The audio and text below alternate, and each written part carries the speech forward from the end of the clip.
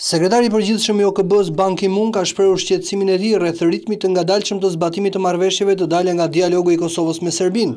Në raportin e OKB-së për Kosovën që paraqitet sot, Ban ka thënë se Kosova ka akoma më shumë punë në promovimin e tolerancës dhe pajtimit mes komuniteteve.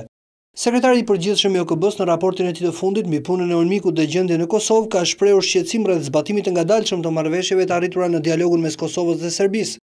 Raporti i cili mbulon periudhën nga gjashtëmbëdhjetë janari deri më pesëmbëdhjetë prill të këtij viti, do të paraqitet në seancën e Këshillit të Sigurimit të OKB-së që i kushtohet Kosovës. Ban Ki-moon ka përshëndetur punën dhe përkushtimin e Presidentit të Kosovës Hashim Thaçi dhe Kryeministrit Isa Mustafa për procesin e normalizimit të marrëdhënieve mes Kosovës dhe Serbisë, por sipas tij ato duhet të arrijnë zbatim të plotë të marrëveshjeve.